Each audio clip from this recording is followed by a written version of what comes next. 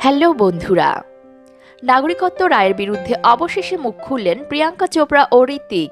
পুরো ঘটনা জানতে ভিডিওটি শেষ পর্যন্ত দেখুন। আর হ্যাঁ সাবস্ক্রাইব করতে ভুলবেন না কিন্তু।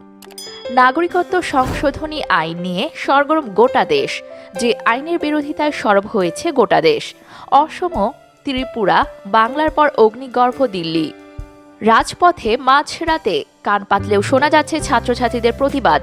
গগনভেদী slogan no NRC Jamia Millia ইসলামিয়ার পড়ুয়ারা স্বর তুলেছিলেন নাগরিকত্ব সংশোধনী আইনের বিরুদ্ধে, যার জেরেল ক্যাম্পাসে লাঠিচার্জ করে দিল্লি পুলিশ।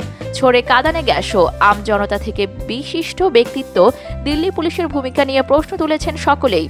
কলকাতা, দিল্লি, মুম্বাই, বেঙ্গালুর এমনকি আন্তর্জাতিক স্তরের ছাত্রছাত্রীরাও রাজপথে নেমেছেন প্রতিবাদে।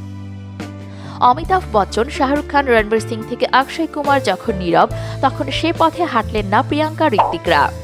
প্রতিবাদী টুইটে প্রিয়াঙ্কা লিখলেন, প্রতি শিশুর জীবনে শিক্ষার আলো পৌঁছে দেওয়া আমাদের স্বপ্ন। এই শিক্ষাই তো ওদের স্বতঃস্ফূর্তভাবে চিন্তা করার সাহস দিয়েছে। আমরা তো ওদের এভাবে বড় করেছি, যাতে ওরা নির্দ্বিধায় নিজেদের মতামত জানাতে পারে। একটি, গণতান্ত্রিক দেশে শান্তিপূর্ণভাবে নিজেদের মতামত জানানোর ফল যদি হিংসা ও সংঘর্ষ হয়, তাহলে সেটা ঘোর অন্যায়। প্রতিটি কণ্ঠস্বর ভারতকে পরিবর্তনের দিকে এগিয়ে নিয়ে যাবে।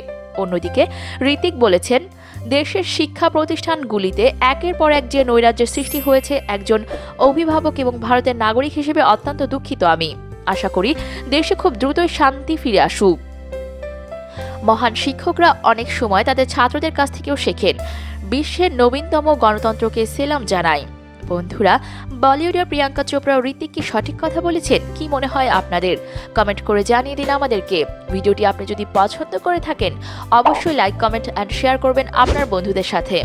কারণ বিনোদনের সব খবর এখানেই পাবেন। আর হ্যাঁ সাবস্ক্রাইব করে বেল বাটনটি বাজিয়ে দিতে ভুলবেন না কিন্তু। ধন্যবাদ সবাইকে।